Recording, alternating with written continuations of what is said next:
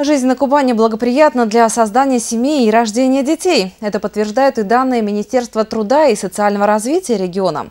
Естественный прирост населения в крае за прошедший год составил 2676 человек, что в два с половиной раза превышает данный показатель по стране.